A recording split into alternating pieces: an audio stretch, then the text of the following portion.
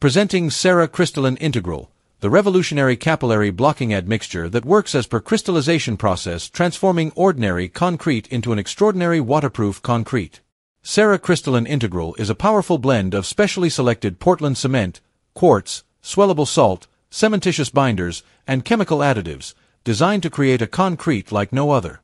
When cement reacts with water in a process called hydration, it creates a calcium silicate hydrate gel that binds the concrete together. This process shrinks the concrete slightly, leaving behind small voids called gel pores. The size of these pores depends on the water-to-cement ratio. A higher water-to-cement ratio leads to more leftover water and larger pores. Water can enter through these pores, making your concrete deteriorate.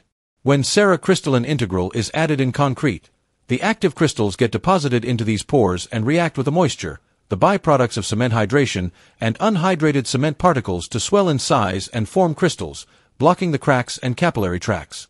This unique process helps to arrest cracks up to 0.5 millimeters, making the concrete permanently waterproof and resistant to aggressive chemicals. Cera Crystalline Integral is ideal for use in underground structures like basements, water tanks, and swimming pools, both below and above ground level. It's also perfect for water-retaining structures and concrete applications in coastal areas due to its exceptional chemical resistance properties.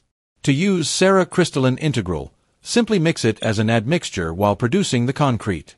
The recommended dosage is 0.8 to 1% by weight of the total cementitious matter in the total volume of concrete.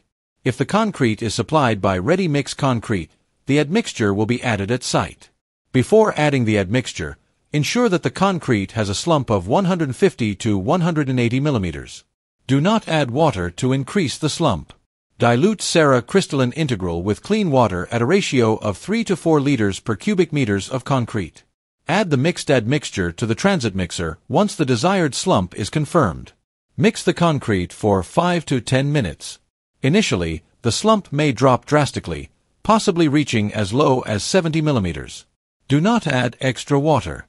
After a few more minutes of mixing, the slump will regain, reaching around 100 to 130 millimeters, check the slump, and without delay, pump the concrete to the desired location. Once the concrete is in place, curing should be carried out as a regular practice to ensure optimal performance and longevity.